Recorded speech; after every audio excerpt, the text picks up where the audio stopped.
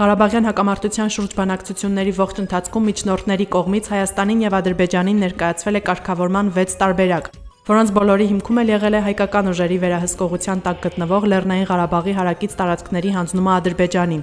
Տարածքներ կարգավիճակի դիմաց սկզբունքը սակայն Հայաստանում շատերը համարում են անընդունելի, պնդելով, որ հայկական կողմը չպետք է հանձնի Արցախի բնակչության անվտանգության միակ իրական երաշխիքը, դրանք փոխարինելով քաղաքական երաշխիքներով։ Հակառակ դիրքորոշման հետևորդները սակայն պնդում են, տարածքային զիջումներն անխուսափելի են, եւ որքան շուտ հայկական կողմը տա իր համաձայնությունը, այնքան շահայկան պայմաններ կկարողանա բանակցել մեզ համար։ Եթե փող զիջում ա, բնականաբար երկու կողմերն էլ պետք է ինչ-որ կորուստներ ունենան, ինչ-որ մի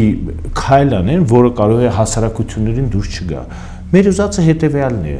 որ Լեռնային Ղարաբաղի տարածքում որտեղ որ ինքնորոշվել է Լեռնային Ղարաբաղի Արցախի ժողովուրդը, այդ տարածքում իրենք պետք է ունենան նախ ճանաչում միջազգային հանրությունը պետք է ճանաչի ճանաչի ինքնորոշման իրավունքը, նաև Ադրբեջանը եւ միայն դրա փոխարեն հնարավոր է եւ միաժամանակյա ճանաչման եւ տարածքների հա, փոխանցման կամ սահմանների ճշգրտման հարցը պետքա միաժամանակյա լինի եւ փոխզիջումը այդպես ենք մենք տեսնում։ Եկեք դնենք հանրակրվեի։ Հանրակրվեի դնենք, եթե Արա Պապյանի տեսակետը ոնց որ դուք եք ասում, որ Տեր Պետրոսյան նշում է, որ դա մի քաղաքական, մի քանի քաղաքական վերլուծաբաններ տեսակետ է, շատ լավ։ Դնենք հանրակրվեի,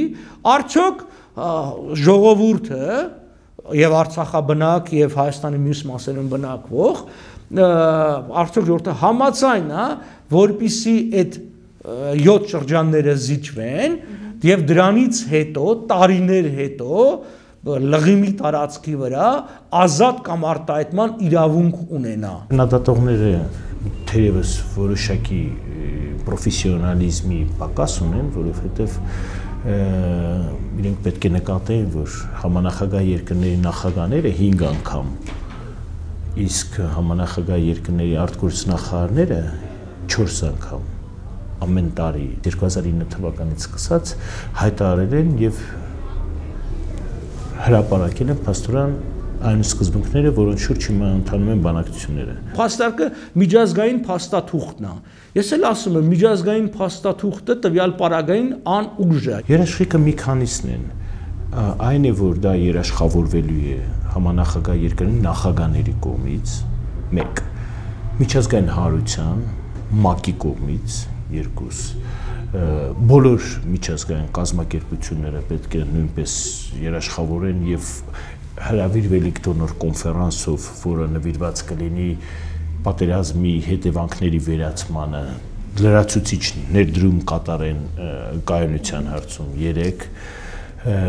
բուֆերային գոտի է լինելու, այսինքն զորքերը հետ են քաշվում, հիմա 100 մետր հեռավորության վրա են կանգնած, հետ են քաշվելու մի քանի կիլոմետր խորություն։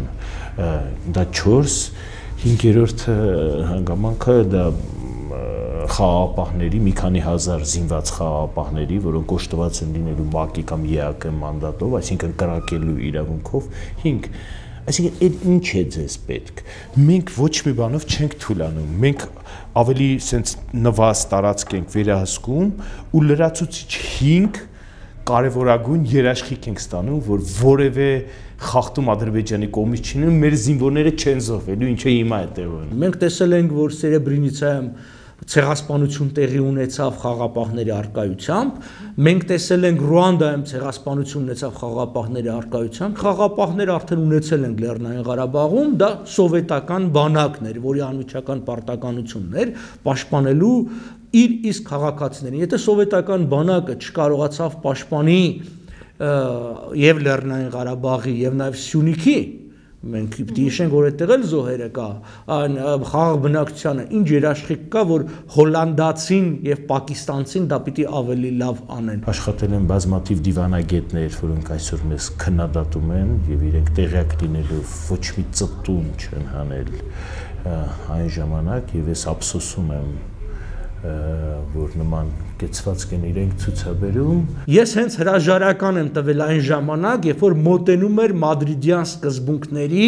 իրականացում, երբ որ ես զգացի, որ նման սկզբունքները արդեն բացի բանակցային կետերից կարող է ամրագրվի փաստաթղթի դեպքի մեջ, ես այս ժամալ հրաժարական տվեցի։ Իսկ դուք գիտեք, քանի Հայաստանի քաղաքացի կամ Արցախի քաղաքացի ապրում է տարածքներում, օրինակ Ջեբրայելում, Ֆիզուլին, որ զոհվել են, այսինքն ինչի համար է դա եղել։ Մարդիկ զոհվել են եւ մենք Արցախի ժողովուրդը կարողացել է հետ մղել Ադրբեջանին, որը գնդակոծում էր Արցախը անկախության հրճակումից հետո Ադրբեջանը հարցակում գործեց։ Լեռնային Ղարաբաղում ապրում է այնքան մարդ, որքան կանադայի հյուսիսային 3 տարածքներում։ Կանադայի հյուսիսային 3 տարածքները երկու Եվրոպայի չափ է։ Ապրում է 100.000 մարդ։ Դե գնացեք կանադացիներին համոզեք, թող այդ տարածքները տան որևէ մեկին։ Ես ուզում եմ հիշեցնել, որ երկու դեմոկրատական երկրների Դանիայի եւ Կանադայի միջև 2000-ականների սկզբին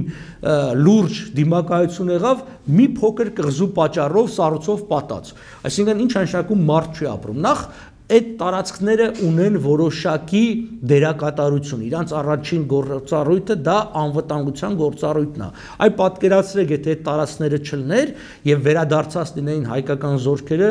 լղիմի սահմաններ։ Ես վստահեցնում եմ ձեզ, մենք ոչ թե մի թալիշ գյուղ կունենայինք, կամ մատաղիս, այլ 20-30 նման գյուղեր կունենայինք։ Այդ տարածքներում չի ինքնորոշվել Լեռնային Ղարաբաղի ժողովուրդը։ Մենք պետքա շատ հստակ հասկանանք այդ տարածքները մենք ազատագրել ենք մեր վերահսկողության տակ են անցել այն բանից հետո որ իրենք գնդակ սկսել են գնդակոծել եւ հարցակվել են Արցախի վրա դու չես կարող այնտեղ հաստատել հայկական այսինքն բնակավայրեր դու չես կարող դա յուրացնել դա անհնարին է ոչ մի միջազգային կազմակերպություն չի ճանաչելու այդ նշանակում է մեր զինվորներին մշտապես դնել վտանգի կրակի տակ լինելու վտանգի տակ Այդ ենք մենք ուզում։ Դա մեր նպատակը։ Ոչ մի տարբերակ չկա այդ տարածքները դարձնելու հայկական։ Լղիմի սահմաններին վերադարձը ոչ թե բերելու է խաղաղություն, այլ բերելու է պատերազմ որովհետև լղիմի շուրջ շրջակա տարածքների ազատագրումը կամ որոշ մարդկանց ասելով օկուպացիան հետևանք էր հենց նրա, որ այդ տարածքից ռմբակոծվում եւ գնդակոծվում էին լղիմի բնակավայրերը։ Ճանաչելով հանդերձ Արցախի ժողովրդի ինքնորոշման իրավունքը նա այլևս չի կարողանա հարցակում գործել, որովհետև ինքը աշխարհին արդեն ասում է, վերջ է, սրանց ճանաչում եմ։ Արդյոք այսօր թուրքական զորքերը չեն գտնվում Թուրքիայի կողմից ճանաչված Սիրիայի տարածքում։ Ինչն է զսպում այդ ճանաչումը ոտնահարելու։ Արդյոք ռուսական բանակը չմտավ իր իսկ կողմից ճանաչված եւ իր իսկ կողմից երաշխավորված ուկրաինական տարածք, մասնավորապես Ղրիմ եւ այլ շրջաններ։